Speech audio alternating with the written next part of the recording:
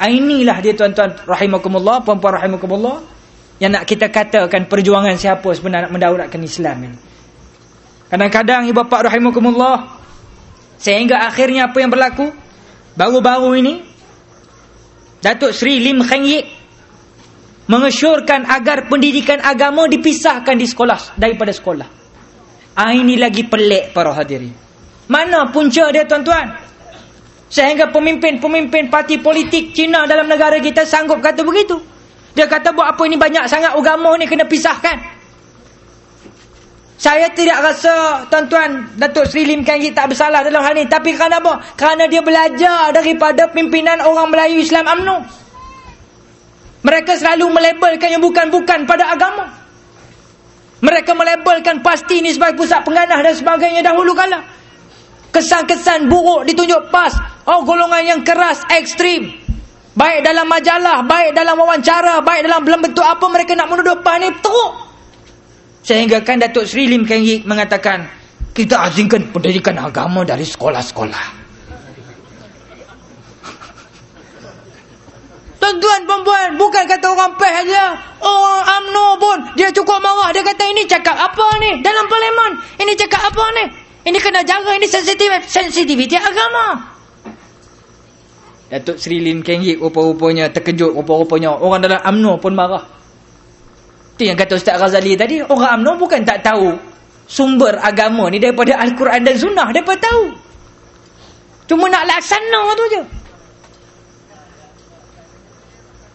Sebab itulah tuan-tuan, jadi kelang kabut akhirnya apa yang berlaku? Zainuddin Maidin pening kepala dengan TV3 pula bau-bau ni. Ni isu terkini. Zam-zam al-kazam.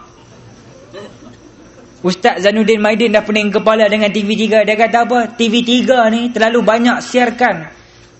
Apa nama? Cerita-cerita. Dia kan dah keluar parlimen kan? Dia pukul 10. Saya dapat tertengok. Dan saya dah rakam. Dia kata apa? RTM tidak boleh begitu. Ha. RTM kena mengeluarkan suatu suasana yang baik. Kita tidak bagaimana suatu siaran yang lain sebagai contoh siaran 999 yang banyak menunjukkan pembunuhan. Seolah-olah negara kita ini negara kita ini tiap hari berlaku pembunuhan. Jadi kita tidak boleh begitu. Oh marah pada TV3 bila hari ini tuan-tuan dia dengan TV3 pun tak sebulu orang TV3 pun duk hentam dia balik juga aku tengok dan mungkinlah ini kifarahnya atas lantaran dia kuat menghentam PAS waktu pilihan raya yang lalu. Betul atau tidak? Dulu waktu pilihan raya tuan-tuan, Allahu Akbar.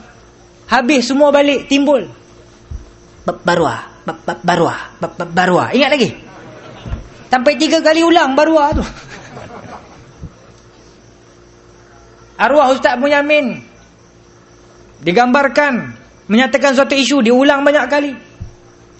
Udah tu ditunjukkan seolah-olah macam Al-Qaeda apa mak semua bentuk-bentuk yang jihad, yang kata-kata yang main jihad aja ni semua nak tunjukkan akhirnya menunjukkan kepada pimpinan PAS. Dalam gambar tu nak tunjukkan seolah inilah dia semuanya. Inilah dia orang yang dikatakan parti PAS. Tuan-tuan saya nak mengajak adik-adik jangan gerun dengan parti Al-Islam se-Malaysia Patut kamu lebih bersyukur kerana masih ada parti ini tuan-tuan. Pimpinan-pimpinan AMNO tidak boleh buat sesuka hati. Alhamdulillah, thumma alhamdulillah. Paksi agama kita adinun nasihah. Agama itu nasihat menasihati. Kalau Ustaz Firdaus sebut bahawa Jutuk Guni Aziz pun bukan yang maksum, dia juga ada kelemahan, Tok Guru Haji semua ulama ada kelemahan, dia juga kena akui kelemahan, saya akui kelemahan saya dan kita mesti mengetahui bahawa paksi agama itu agama nasihat dan menasihati. Itu kita kena buat. Inilah tujuan kita, merafakkan saf kita tuan-tuan. Nasihat-nasihatkanlah sama-sama para hadirin. Kepada para hadirin, hadirat, sedara mara kita, ipa duai kita tuan-tuan. Sebab sekarang Islam berada di hujung, telur di hujung tanduk. Suruhanjaya nak bebaskan supaya hukum agama ini tidak termaktub pada seseorang. Mana nak bebas boleh buat apa-apa. Alhamdulillah belum berlaku dibincang lagi alhamdulillah. Hari ini orang perempuan sudah mula dah nak jadi imam masjid semayang Jumaat. Dr. Amina Wadud punya kes. Tak pernah dalam sejarah orang perempuan jadi imam. Aisyah, Khadijah, siapa juga nama-nama mutakhirin. Tak pernah jadi imam sehari Jumaat. Hari ini orang perempuan punya milenium, punya hadarinya jadi imam. Ha, ini masalah besar. Bayangkan kalau imam perempuan yang saya pelik, dia yang berlaku macam di Michigan tu. Eh di mana Michigan? Di Manhattan, maaf saya, di Manhattan, New York, United States of America tu. Memang betul-betul dalam gereja tu dia orang semayang Jumaat. Imamnya Dr. Aminah Wadud, depan Wadud, belakang Mardud. Tahu Mardud apa maksud Mardud? Ha, tanya Ustaz Ismail Firdaus dia tahu tu aku tak tahu. Aku bukan penyanyi rock je. Mardud ni maknanya kalau misal kata haji ada haji mabrur, haji makbul, haji mardud. Haji mabrur, haji diterima, balasannya syurga. Pahalanya banyak. Alhamdulillah. Yang kedua, haji makbul, diterima tapi kurang pahalanya, tapi diterima. Yang ketiga, haji mardud, haji ditolak maknanya. Maknanya kalau depan perempuan jadi imam, depan wadud, belakang mardud. Itu dia. Maksud dia begitulah. Kita bukan pertikai ilmu Dr. Aminah Wadud, dia seorang yang mengaji, universiti, pensyarah dan sebagainya.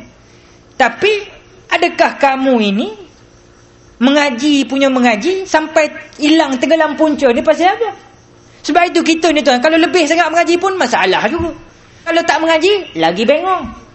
Maknanya tuan-tuan, tuntutlah ilmu tu. Tapi tuan-tuan, kena jaga. Ikut panduan Al-Quran As-Sunnah. Kalau tak jadi begini.